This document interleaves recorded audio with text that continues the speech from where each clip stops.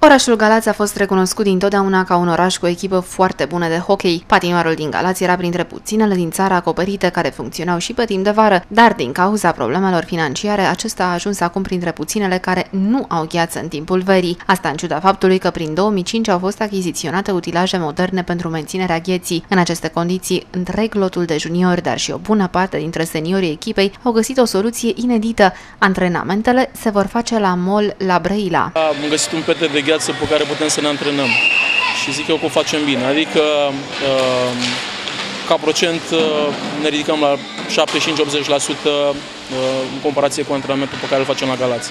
Venim de trei ori, de trei ori aici, avem câte două ore pentru fiecare antrenament, ceea ce înseamnă 6 ore de gheață. Costurile le suportă părinții, care, pe care i-am convins și ei sunt, sunt mulțumiți. Echipa de juniori este mulțumită de faptul că petrec câteva ore de antrenamente la răcoare, mai ales atunci când afară sunt peste 35 de grade Celsius. Era mai bine la Galați, dar e bine că și vara ne antrenăm.